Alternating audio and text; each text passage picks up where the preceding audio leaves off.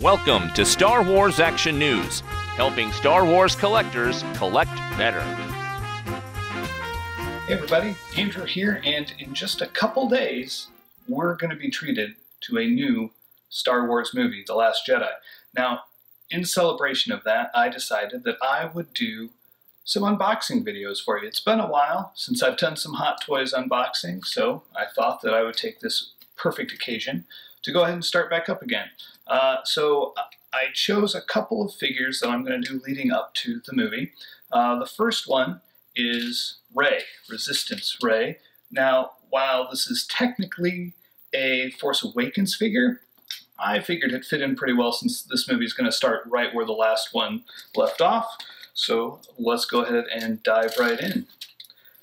The other reason that I waited this long was, if you'll remember, um, a little over a year ago, we were um, embroiled with Raygate when our friend Justin found Resistance Rey in stores and a whole bunch of craziness ensued. So I figured if I just wait, there won't be any backlash from companies to, you know, get us to take the video down. All right. All joking aside, I am really looking forward to opening up this figure. I actually prefer this costume to the uh, one that Rey wears throughout the uh, Force Awakens. Um, I just think it looks a little bit more more classic than uh, the original Rey. So there's the packaging. Nothing uh, too exciting to see there on the outside. Standard box Of course, the holding out the lightsaber pose, which is probably how just about everybody has this one pose in their house, since that's really the only pose that she can really do from that source material, since she's only in this outfit for all two minutes walking up those steps.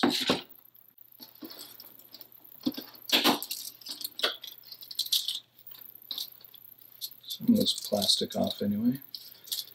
All right, so yeah, standard uh, body like uh, we saw with the previous version. The uh, really thin hair tentacles, as I like to call them, hanging down in front of her ears. She looks pretty sharp.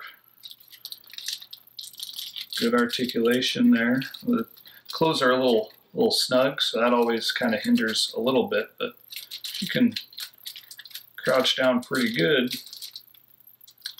Not a lot of articulation in the ankles because of those boots.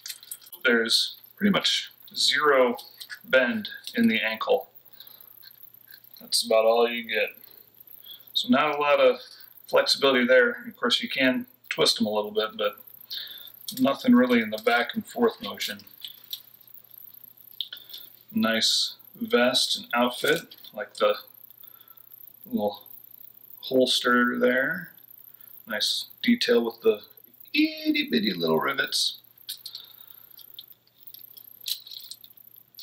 The head looks to be very similar to the previous one. In fact, let me get her down. We can do a little comparison here. I think it's exactly the same, but it's it's pretty pretty darn close. Might just be a little bit different paint.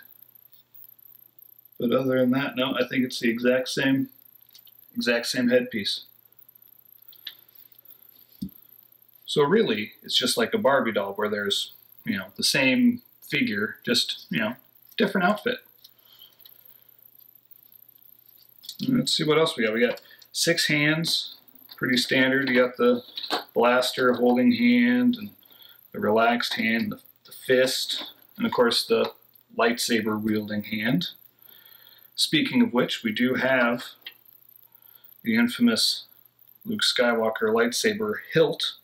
There's no blade, which I guess makes sense since she doesn't light it up in the movie, but would have been kind of nice to have that just for the uh, leading into the the uh, Last Jedi, because um, I know that you know she ignites it there from the trailers. So then we've got the blaster that was given to her by her father figure Han. And of course her staff, which is identical to the staff from the previous version. We've got the uh, little bag that she's carrying up those steps too. And of course, the standard, boring, old figure stand with the Resistance Rebel logo on it.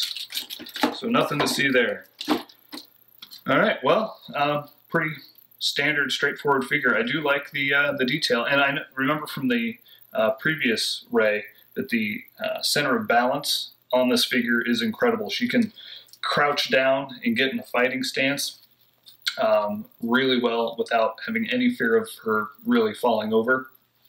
Plus, of course, there's an earthquake. Uh, but uh, but um, I really liked this figure the first time around, um, and there's really no complaints here on the second one, um, other than maybe it would have been nice if they had included the piece for the lit lightsaber. But um, nitpicking, as usual, um, lots of uh, really good detail in the uh, stitching of the uniform. Yep, another great figure, and uh, look for another uh, unboxing coming out tomorrow. See you guys. Thanks for watching this video. You can see full episodes of Star Wars Action News with more collecting news and reviews at swactionnews.com. We also have thousands of toy and collectible photos in our photo gallery. If you enjoyed this video, please subscribe to our YouTube channel. May the pegs be stocked and the Force be with you.